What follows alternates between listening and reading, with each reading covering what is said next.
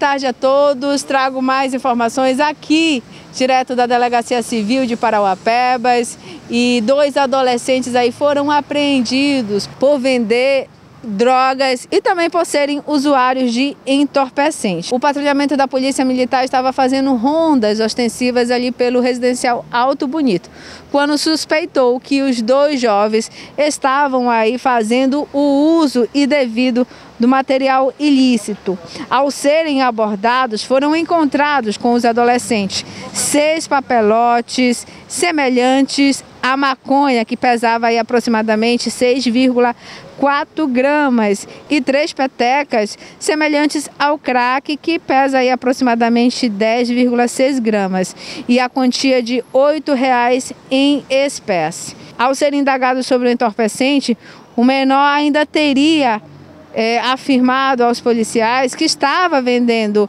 entorpecente no local e que tinha apenas comprado um dólar do mesmo entorpecente. E de acordo com a polícia militar, os menores ainda teriam declarado aos policiais que por serem menores de idade é, não poderiam ir presos ou algo do tipo, né?